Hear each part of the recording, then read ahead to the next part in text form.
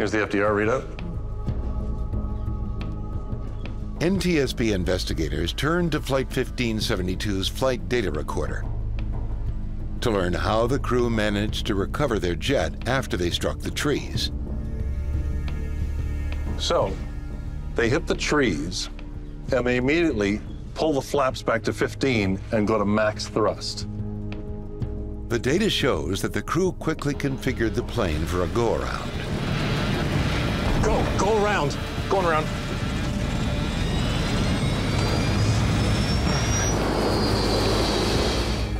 Flaps 15.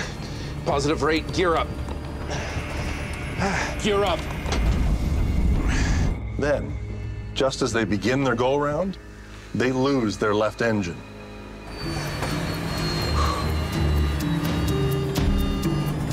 The aircraft um, actually ingested um, trees, the tops of the trees, into uh, the engines. Left motor's failed. Followed by their right engine. Here you have a scenario where something devastating just happened. We just plowed through some trees on the top of a ridge two and a half miles away from the runway and losing capabilities on this aircraft by the second. They've got the nose way up, they're losing speed, and both their engines are gone. That's a recipe for a stall if I've ever seen one. All of a sudden, they were starting to lose airspeed. They were in a nose-high attitude, and that's the worst time that can happen.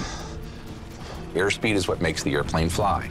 If there isn't enough air moving over the wings, the wings stop flying. And that is what's referred to as a stall. There's a runway straight ahead. Fortunately, the first officer saw the runway. They had to get the airplane on the ground in a hurry uh, because they would not be able to keep on flying with the engine power they had. Okay. Tell him we're going down. Tell him emergency. So now he's got to reconfigure the aircraft again. And remember, this is all happening in seconds. He's got to focus on trying to save whatever altitude and airspeed he has left to make it across the fence into the runway environment. This is a critical stage of flight now because he doesn't have power.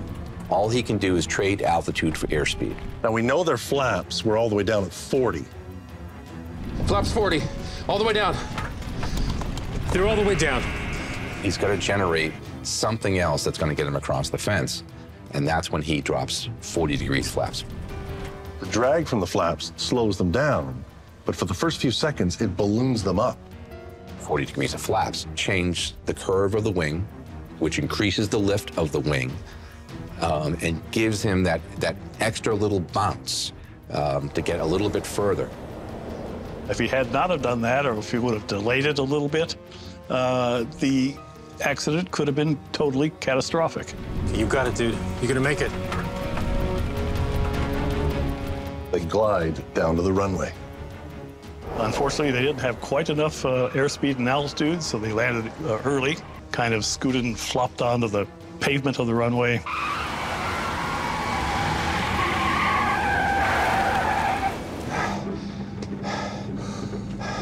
They made mistakes going into the tree strike, if you will, and yet did a brilliant job landing the aircraft. That's an incredible show of airmanship.